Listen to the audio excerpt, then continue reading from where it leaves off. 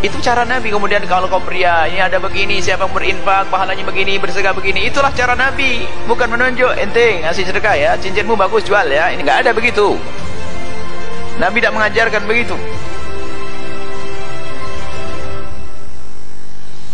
Nah, itu membuat orang lari dari kebaikan. Kalau dengan cara menunjuk, meminta, itu seperti merampok. Rampok pakai malu itu. Merampok kan pakai pedang dengan rasa malu. Kalau tidak ngasih kan, malu. Misalnya kita minta, itu jamnya bagus buat saya ya. Itu sama kenapa kasih buat saya. Mana? Itu loh, sama itu, cuman karena dia punya makom seorang ustadz pakai atas nama Allah, atas nama Nabi sama itu. Bahaya itu. Oh, ustadz minta-minta ke jamaah. Kalau memberikan himbauan sedekah, cuman biasanya ngomong, ya tidak paham-paham tuh. Suruh megang kotak, dia pegang beneran. Tidak ngisi-ngisi ya, didoain saja semoga paham. Ini gak paham paham misalnya ini. Nah ini ya tetap gak boleh kita bikin malu. Bikin malu gak diajarkan oleh Nabi SAW atau bikin orang lari. Ini masalah sedekah. Maka lihat ikhlas harus kita ajarkan untuk diri kita sendiri. Akhlas kita ajarkan kepada orang lain. Bagaimana mengajarkan ikhlas? Cara mengambil pun yang cantik, yang manis. Maka tim-tim pengurus masjid yang cari dana, tolong yang cantik mainnya. Ada sebagian yang kalimatnya itu kalimatnya Masya Allah kalimatnya bukan kalimat beriman. Yang penting banyak cepat jadi. Terserah ente ikhlas gak ikhlas gak penting. Oh gak begitu dong. Kalau gak ikhlas kasihan dong dia bersedekah. Masuk kalimatnya yang penting banyak? Gak apa-apa gak ikhlas. Pak Haji. Kok begitu nih gimana? Masa Pak Haji yang ngasih duit bisa biar boleh masuk neraka? Kita itu membuat masjid Untuk mengajak orang masuk sur. Yang bersedekah pun bagaimana dia dengan penuh kerelaan Senang masuk surga Sudahlah jangan dikit-dikit, dikit ikhlas dikit. Mending banyak ikhlas gak apa-apa. Ini kadang muncul kalimat begitu. Ini panitia yang salah alamat. Tapi panitia yang mainnya cakep cantik, orang terpesona dengan program. Rindu untuk mengikutinya. Ini coba saya tanya bapak-bapak. Yang jujur, yang jujur. Siapa yang udah punya motor dan ada BPKB-nya? Nggak mungkin nggak ada. Satu masjid begini nggak ada. Baik doanya di, dirubah. Pertanyaan dirubah.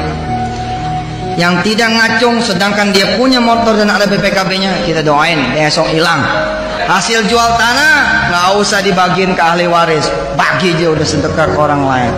Nanti ahli waris tidak akan ada yang miskin. Nggak ada. Semua dikayakan oleh Allah subhanahu wa taala. Ya baik. Siapa yang mau duluan ngasih cincin ya tinggal berapa tinggal kurang lebih 500 ribu ada di Eh, mau tangan dong. Oh, iya, Lima ratus ribu itu, lima ratus ribu. Nih sekarang, sini, cek, cek, cek. Siapa di antara saudara, kan belum tentu semua punya toh. Siapa di antara saudara yang pengen punya duit cash 10 miliar rupiah? Oke, kalau pengen punya 10 miliar, lu sedekah semiliar dong. Ada enggak? Oke, kalau enggak ada, kalau enggak ada, start dari 100 juta. Ada enggak? Kalau enggak ada, start dari 10 juta. Ada enggak? Kalau enggak ada, start dari sejuta. Ada enggak? Enggak mungkin enggak ada. Kira-kira begitu. Tadi-tadinya miskin, jadi kaya, dihormati sebagai kiai, dapat harta dari umat. Itu Yusuf Mansur itu. Lihat dulu. Subhanallah, sip, keluarin sini. Ah, mantap. Masih ada tuh. Anggap ini 2 juta ya. Pertama saya meyakini Anda akan mendapat kemudahan, tetapi tidak usah mencari kemudahan, tidak usah, tidak usah mempamrihi itu. Jangan bersodakoh dengan niat nanti dapat kembalian 700 kali lipat. Itu bukan sodakoh namanya. Sodakoh itu titik ketika Anda ngasih titik, titik. Tidak ada pikiran apa pun, kecuali memberi. Melayani titik bahwa nanti Anda mendapat imbalan itu bukan urusan Anda. Jadi Anda jangan ikut-ikut, tidak usah difikirkan. Kalau Anda bersodako, ngasih senyuman kayak nolong orang kayak nuntun orang tua tadi menyeberang jalan segala macam supaya tidak menjadi sistem sosial dan ekonomi kreatif. lumayan aku ini mendengarkan ini lumayan. Ya antar saja. Anda antar saja. Semakin Anda ikhlas mengantar dan membatasi diri Anda pada pelayanan titik, itu nanti makin banyak pendapatannya. Cuman jangan terus di, di apa di dikonstruksi bahwa dengan begini saya akan mendapat seperti itu. Itu bukan sodako namanya itu namanya dagang. Jadi kalau anda ngumpulin duit juta-juta dengan harapan apa mikir siapa yang percaya bahwa Allah akan membayar 10 kali lipat? Oke siapa namanya? Rizka Marina.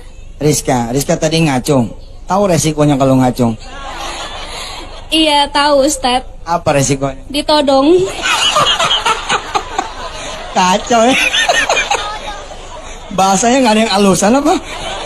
Tolong Rizka mana lihat cincinnya? Nah coba kamera lihat kamera cincinnya. Rizka malam ini Rizka tidak usah sedekah cincin ini. Rizka tidak usah sedekah cincin ini.